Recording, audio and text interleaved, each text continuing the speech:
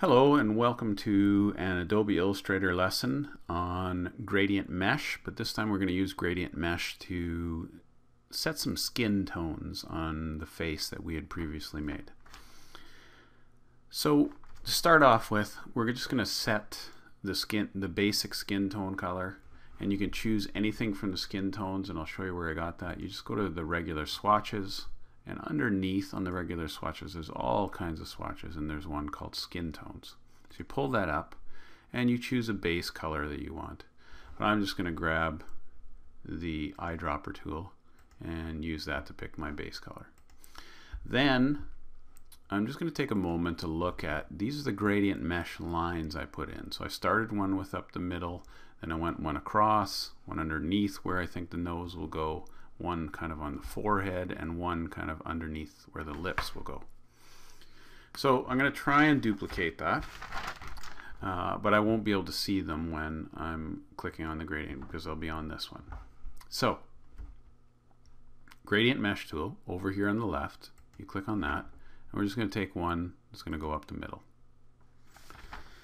Then we're going to take one and I'm going to click right on the line because if you click right on a line, it'll only do the one which is perpendicular to it, sort of perpendicular to it. Then I'm going to grab another one here and another one down here. Notice I click on the line so it's not adding any vertical lines. Now I'm going to click on this line which is a horizontal line so it should add a vertical line through all of those points and then I'm going to try and go about the same distance and I'll go here. Now I'm going to try and pick those points where I want to add that different color. So I'm going to click on this point and you'll notice it's dark blue so that means it's selected plus the handles are selected that can affect it. I'll hold the shift key down and I'll select this one and then I'll select this one. And then I'm going to go with a darker color right here. So that's looking pretty good, but you will notice that this point and this point are in a little. So what I'm going to do is grab my left arrow tool here, 2, 3, 4, 5, 7, 8, 9, 10, I don't know, I'll just go in by eye, I guess I won't worry about counting them. And I'll click on that one, and I'll move my right arrow tool, and I'll go in by eye until I'm happy with that. Now, I'll go to those other files and copy and paste the eyes, the lips. Um, I'll draw some hair, I'll draw some ears, uh, and I can draw is whatever I want. A hat, uh, you're going to have to draw a nose, and eventually you're going to end up with something that looks like this. So a finished product would look like this. It's got gradient mesh lips, it's got a nose, and this is how I built the nose. We can just zoom in on this for a second. I just did two pieces. Uh, I used a pen to go something like this. Click, click and drag, click, click and drag, and click.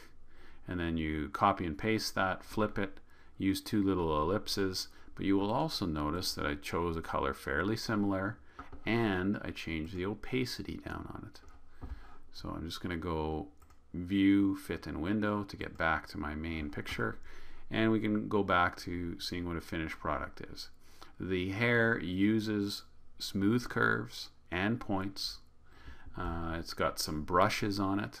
I used this dark brush. This one right here, but I used it as yellow on top of bleached white hair.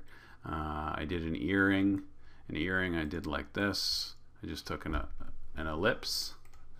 I copied it, Control C and Control V, made it slightly smaller, and put it on top, grabbed both of them, object, compound path make, and then I took an eraser tool and I cut out a wee little section.